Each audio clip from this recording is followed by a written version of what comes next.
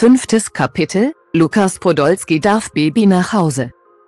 Lukas Podolski, 37, scheint die erste Zeit mit seiner Tochter in vollen Zügen genießen zu wollen. Im vergangenen August hatten der Profisportler und seine Frau publik gemacht, dass sie erneut Nachwuchs erwarten. Vor wenigen Tagen war es dann endlich soweit und der Fußballer verkündete die Geburt seines dritten Kindes. Auch ein erstes Bild mit der kleinen Ella teilte er bereits im Netz. Nun durften Poldi, seine Frau und ihre gemeinsame Tochter das Krankenhaus augenscheinlich wieder verlassen. Auf seinem Instagram-Account erfreute der frisch gebackene Papa seine Community nun mit einem weiteren Einblick in seinen Alltag. Poldi postete einen Schnappschuss, auf dem er mit einer Babyschale in der einen Hand und einer großen Tüte in der anderen Hand durch einen Krankenhausflur läuft.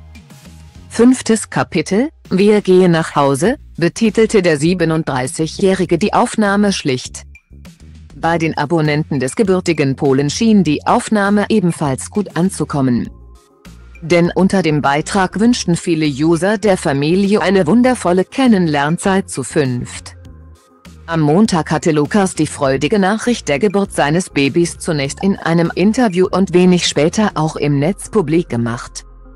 Es ist immer wieder etwas ganz, ganz Besonderes und das schönste Gefühl überhaupt. Wir freuen uns wahnsinnig. Dass wir nun zu fünft sind, versicherte er gegenüber Bild. Die kleine Ella hatte am 20. Januar in Polen, der Heimat ihrer Eltern, das Licht der Welt erblickt.